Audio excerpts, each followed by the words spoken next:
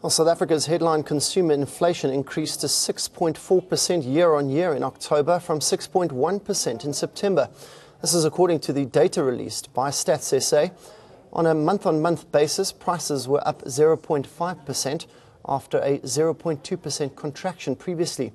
Core inflation, which includes the, excludes the price of food, non alcoholic beverages, petrol, and energy, increased to 5.7% year on year from 5.6%, but slowed slightly to 0.2% month on month from 0.3%.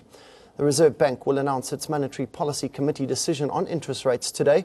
The bank looks at inflation expectations for the next six months in its deliberations, so the CPI increase is unlikely to affect its decision.